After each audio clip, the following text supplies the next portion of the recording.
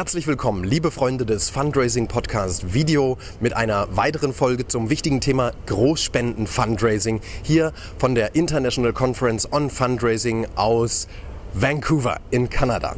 Zum Thema Großspenden-Fundraising hatte ich einen halbtägigen Workshop mit der Expertin Karen Osborne aus New York besucht und eine kleine Anekdote möchte ich in dieser Folge noch mit euch teilen, die sie uns erzählte.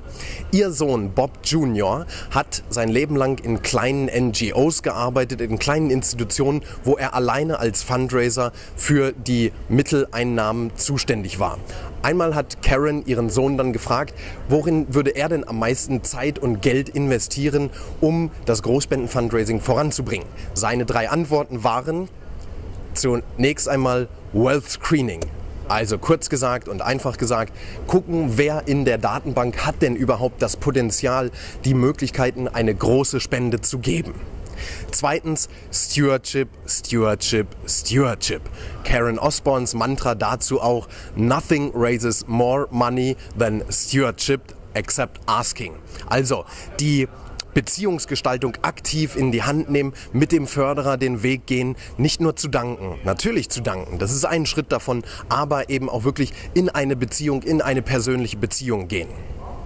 Und als dritten und letzten Punkt nannte Bob Jr., worin er Zeit und Geld investieren würde, Build the Best Board. Also den besten Vorstand sich zusammenstellen, wo Menschen drin sind, die gerne für die Sache arbeiten, aber auch die Möglichkeiten haben, selber eine große Spende zu geben. Sie sollten äh, großzügig sein, die Board, die Vorstandsmitglieder Glieder.